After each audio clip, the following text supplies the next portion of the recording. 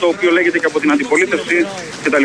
Αυτό νομίζω το θέμα το έχει ε, κλείσει ο κύριος Τουρνάρα. Για τις αμυντικές βιομηχανίες, Γιάννη, υπάρχει κάτι. Τις αμυντικές βιομηχανίες, βεβαίως και θα αναφερθεί ο Πρωθυπουργός σε αυτό το θέμα. Όλοι περιμένουμε.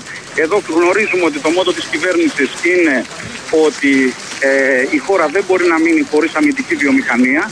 Και αυτό το οποίο θα πει σπίρο ο κύριος Σαμαράς είναι ότι θα πρέπει να προχωρήσουμε σε, σε καθάριση Μάλιστα.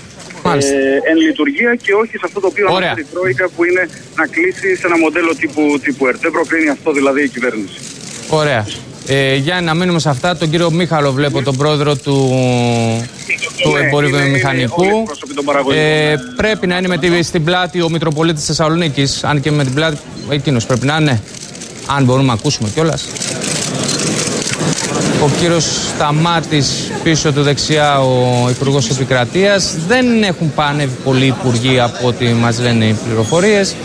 Όχι, ε, δεν ο κύριος είναι Γεωργιάδης πολύ με τον κύριο ο Σαμαρά. Καλαφάτης ο κύριος Αθανασίου Υπουργός Δικαιοσύνης.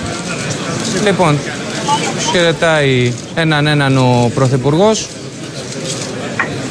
χωρίς τις εικόνες που είχαμε συνηθίσει τα προηγούμενα χρόνια Όχι, Σπύρο, χωρίς ε, αυτές τις τυμπανοκουσίες, έχει κατέβει, χωρίς- έχει κατέβει ο πύχης Ναι, έχει κατέβει ο πύχης. και ο Δήμαρχος Θεσσαλονίκης, ο κύριος ε, Μπουτάρης. Μαζί με τον κύριο Χρυσοχοίδη. Ναι, ο, ο κύριος Μπουτάρης, ο οποίος έχει εκφράσει αρκετές ενστάσεις για όλο αυτό που γίνεται τα τελευταία χρόνια στη Θεσσαλονίκη, τα μέτρα ασφαλείας και το χαρακτήρα που έχει πάρει εκεί όλη αυτή η υπόθεση. Λοιπόν, θα καθίσει κάθισε ο κύριος Σαμαράς, θα έχει αυτή την συζήτηση με παραγωγικούς φορείς και μετά θα συνδεθούμε να παρακολουθήσουμε και την ομιλία μας. Λοιπόν, θα είναι